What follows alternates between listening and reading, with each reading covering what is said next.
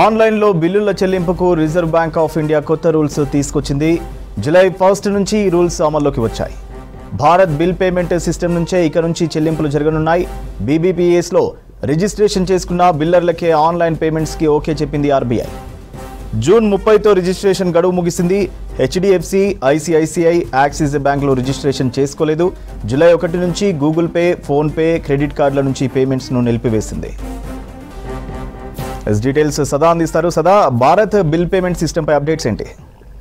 సూర్య ఇటు ఆన్లైన్లో bill payment system పైన ఆర్బీఐ కొత్త నిబంధనలు తీసుకొచ్చింది. So BBPS Bharat bill payment సిస్టంలో ఎన్రోల్ చేసుకున్న బ్యాంకర్స్ లేకపోతే థర్డ్ పార్టీ యాప్స్ నుంచి మాత్రమే ఈ బిల్లింగ్స్ ఇక నుంచి చెల్లించనున్నాయి. సో ఇంతవరకు మనం ఏంటంటే ఇటు కరెంటు బిల్లు కానీ ఫోన్ రీఛార్జ్ కానీ వాటర్ బిల్లు కానీ ఇట్లాంటివి ఎలాంటి బిల్స్ అయినా ఈవెన్ క్రెడిట్ కార్డ్ బిల్స్ అయినా ఏది అయినా ఇటు ఫోన్పే లేకపోతే Google Pay Amazon Pay CRED ఇట్లాంటి థర్డ్ పార్టీ యాప్స్ ద్వారా ఇన్స్టాంట్గా సింపుల్గా పే చేసేవాళ్ళం. ఎందుకంటే మనకు ఎట్లాంటి యూటిలిటీస్ యూజ్ చేసుకున్నా ఇప్పుడు పవర్ బిల్ అనుకో డైరెక్ట్గా ఇటు టీజీ ఎస్పీటీసీఎల్ దాంట్లో కాకుండా ఇటు మనం అమెజాన్ ప్లేనో లేకపోతే క్రెడ్లోనో ఫోన్పేలోనో మన సర్వీస్ నెంబర్ ఎంటర్ చేస్తే ఆటోమేటిక్గా మన బిల్లింగ్ డీటెయిల్స్ అని వస్తాయి.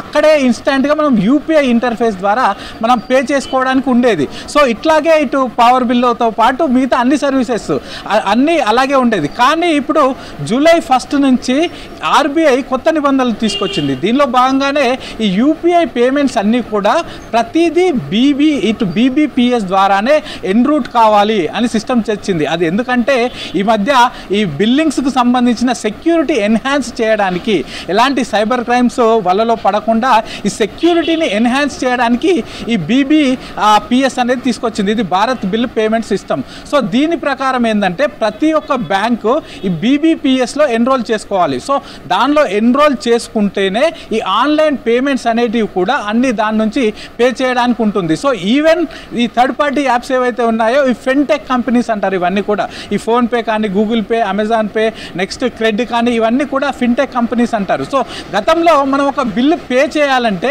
డైరెక్ట్గా మనం ఏదైతే ఇప్పుడు ఫోన్పే నుంచి మనం ఒక బిల్లు పే చేస్తున్నాం అనుకో ఇటు కరెంట్ బిల్ పే చేస్తున్నాం అనుకో డైరెక్ట్గా ఫస్ట్ మనం ఈ క్రెడ్లో పే చేసినప్పుడు ముందు క్రెడ్కు ఈ ఫోన్పే మనం చెల్లించిన పేమెంట్ పోయేది.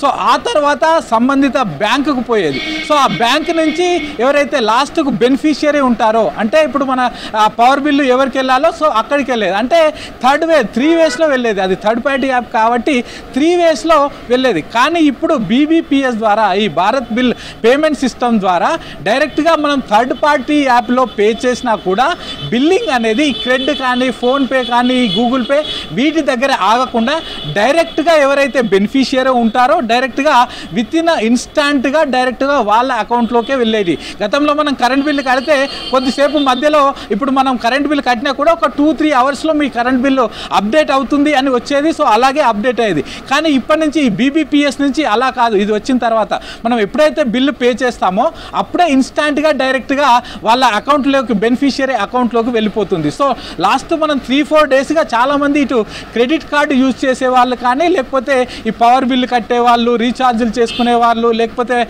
వాటర్ బిల్లు కట్టే వాళ్ళు వీళ్ళంతా కూడా ఈ థర్డ్ పార్టీ యాప్స్ నుంచి పేమెంట్స్ చేస్తున్నా కూడా అవ్వట్లేదు. దానికి కారణం ముఖ్యంగా ఆ- ఆ సంబంధిత బ్యాంకులు కానీ లేకపోతే ఈ థర్డ్ పార్టీ యాప్స్ కానీ ఇవి బీబీపీఎస్లో ఎన్రోల్ చేసుకోకపోవడమే దీని ప్రధాన కారణం. యాక్చువల్గా జూన్ థర్టీ వరకే ఆర్బీఐ ఈ అన్ని బ్యాంకులకు కూడా గడువు ఇచ్చింది. జూలై ఫస్ట్ నుంచి ఈ బీబీపీఎస్ని అమల్లోకి తీసుకొచ్చింది. సో యాక్చువల్గా ఇప్పటి వరకు మొత్తం ముప్పై నాలుగు ఆర్బీఐ అప్రూవ్డ్ బ్యాంక్స్ ఉంటే దానిలో ఇరవై రెండు బ్యాంక్స్ మాత్రమే ఈ బీబీపీఎస్లో ఎన్రోల్ చేసుకుంటున్నాయి. వాటికి మాత్రం యాజ్ యూజువల్గా పేమెంట్స్ అయిపోతున్నాయి. కానీ ఈ హెచ్డిఎఫ్సి ఐసిఐసిఐ యాక్సిస్ బ్యాంక్ లాంటివి మాత్రం ఇవి వీటికి ఎక్కువ మంది కస్టమర్స్ ఉంటారు. అలాగే వీటికి చాలా వరకు క్రెడిట్ కార్డులు కూడా వీళ్ళు ఇష్యూ చేసి ఉన్నారు.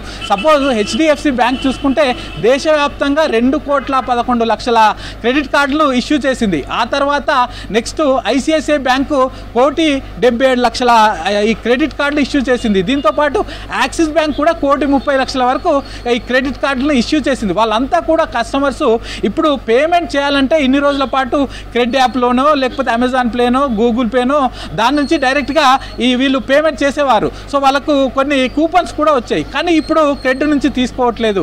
డైరెక్ట్గా మీకు ఆన్లైన్ అకౌంట్ నుంచి వెళ్ళైనా చేసుకోవాలి లేకపోతే మీకు సంబంధిత బ్యాంకులకు సంబంధించిన యాప్ ఉంటే దానిలో నుంచి అయినా వెళ్ళి చేసుకోవాలి. సో దీనివల్ల కొంతవరకు ఇబ్బందులు పడుతున్నారు. సో ఇక్కడ ఇప్పటికే టీజీ ఎస్పీడీసీఎల్ కూడా ఇక్కడ ప్రకటించింది. ఇప్పుడు ఇక్కడ జూలై ఫస్ట్ నుంచి మీరు పేమెంట్స్ అంతా కూడా ఆన్లైన్లో అంటే అఫీషియల్ టీజీ ఎస్పీడీసీఎల్ వెబ్సైట్లో అనే చేసుకోవాలి లేకపోతే మా యాప్లో అయినా చేసుకోవాలి. కానీ ఫోన్పే గూగుల్ పే అలాగే ఈ పేటిఎం ఇట్లాంటి వాటిల్లో ఇక్కడ నుంచి చెల్లదంటూ కూడా చెప్పింది. సో దానివల్ల కూడా చాలా వరకు ఇబ్బందులు పడుతున్నారు. సో ఇక్కడ ఒక సిటీ ప్రాంతాల్లో కాకుండా గ్రామీణ ప్రాంతాల్లో కూడా కరెంట్ బిల్లు వచ్చిన తర్వాత ఆ గ్రామీణ ప్రాంతాల్లోకి వచ్చి కరెంట్ బిల్ కలెక్ట్ చేసుకునే బిల్ కలెక్టర్లు కూడా ఉంటారు. కానీ ఈ రోజుల్లో బిల్ కలెక్టర్ వచ్చినప్పుడు ఆయన దగ్గరికి వెళ్ళి డైరెక్ట్గా లిక్విడ్ క్యాష్ పే చేసే ఆ- ఫెసిలిటీ ఉన్నా కూడా జనాలు ఎందుకంటే ఇన్స్టాంట్గా మనకు మొబైల్లో with in a single click తోటి మనం బిల్స్ అన్ని పే చేయొచ్చు కాబట్టి దానికి అలవాటు పడిపోయి ఉన్నారు. ఈ UPI third third party apps ఎప్పుడైతే వచ్చాయో సో వాటి వల్ల చాలా వరకు ఇన్స్టాంట్గా ఈ పేమెంట్స్ అన్ని ఆన్లైన్లో చేసే చేయడానికి అలవాటు పడ్డారు. సో తిరిగి మళ్ళీ ఇప్పుడు సంబంధిత అఫీషియల్ వెబ్సైట్లోకి వెళ్ళాలి. అక్కడికి వెళ్ళిన తర్వాత మన కార్డు డీటెయిల్స్ అన్ని ఎంటర్ చేయాలి. సో అప్పుడు దాని పేమెంట్ అంతా కూడా ఒక ప్రాసెస్ తీసుకుంటుంది కాబట్టి మళ్ళీ ఇప్పుడు వాటర్ బిల్ కోసం ఒక అఫీషియల్ యాప్ ఉంటుంది. లేకపోతే ఈ టీజీఎస్పీడీసీఎల్ పవర్ బిల్ కోసం ఒకటి.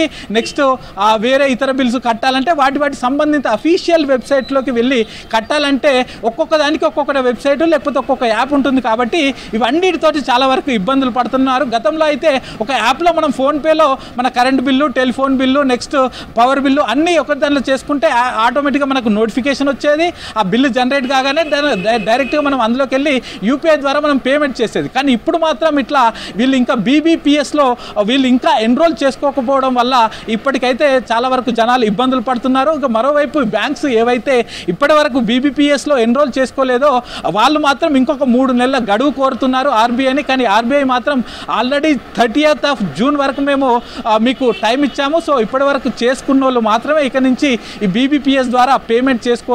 లేని వాళ్ళు మాత్రం మీ మీ సంబంధిత ఆ, వెబ్సైట్ల నుంచే అలాగే లేకపోతే మీ సంబంధిత యాప్ల నుంచి మాత్రమే తీసుకోవాల్సి ఉంటుందంటూ కూడా వాళ్ళకి ఓపెన్గా చెప్పేసింది RBI Surya. Right thank you Sada